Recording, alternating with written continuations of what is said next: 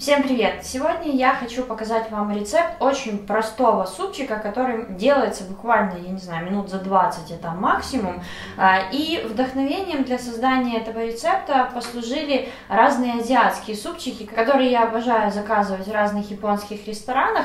И когда я смотрела в интернете рецепты разных а, азиатских именно правильных супов, по типу мисо-суп или рамен, а, я поняла, что они готовятся очень сложно, там очень много компонентов, очень много всяких ингредиентов нужно покупать, которые, в принципе, не так легко доступны. И я подумала, что не может быть так, что такой суп, ну, похожий, по крайней мере, вкус, чтобы его получить, нужно так сильно и долго заморачиваться. Поэтому я придумала свой очень облегченный вариант. Конечно, это совсем не то же самое, что и классический рецепт, но в то же время а, очень похоже и в то же время очень быстро. Для того, чтобы приготовить этот супчик, нам понадобится а, куриное филе, также нам понадобится два яйца. И, кстати, я сейчас ингредиенты показываю а, на два человека, чтобы порции хватило. Также рисовая лапша. Здесь у меня ее совсем немножко. Вы можете по своему вкусу взять побольше. А, и я нарезала кубиками вот такими еще сырок. А, это тоже не обязательно, но мне кажется, что это очень вкусно тоже в этом супе. И, конечно же, звездой нашего шоу будет соевый соус. Берем кастрюльку, в которой будем э, готовить э, наш бульон э, и куриное филе. И начинаем нарезать куриное филе. И я его нарезаю так, как в этих азиатских всех ресторанах принято. То есть вот так вот скошено. Вот такими вот кусочками. Чтобы это было удобно кушать потом в супе. Дальше заливаем это все водой.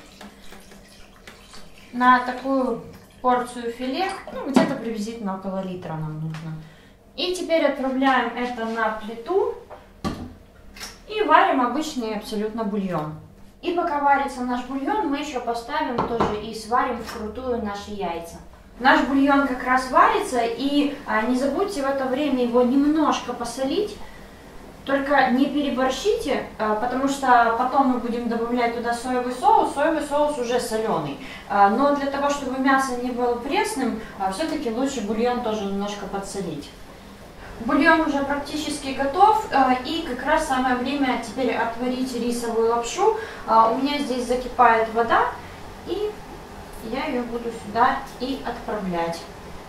Рисовую лапшу совсем немножко нужно готовить, буквально пару минут, может 3-4 минуты ее поварить, и все, она будет готова. И после этого приступим к сборке самого супа. Лапша уже сварилась, вот я ее положила здесь в тарелочку. И теперь приступаем к сбору самого супчика. Для этого мне нужно будет взять немножко бульона своего куриного. Теперь для придания оттенка и вкуса добавляем соевый соус. Сразу немножко размешиваем для того, чтобы цвет проявился. Следующим шагом пойдет наше яйцо. Разрезаем его на две части. И аккуратно кладем в тарелочку. И последний штрих это несколько кусочков сыра.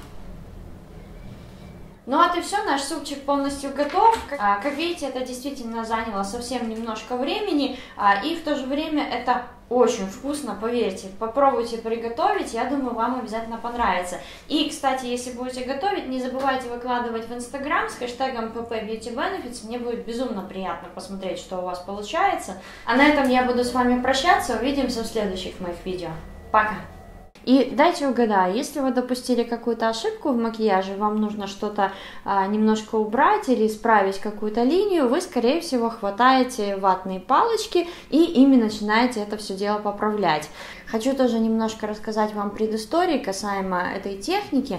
На самом деле, как и достаточно много трендов в последнее время, эта техника пришла к нам от Div Travesty Show.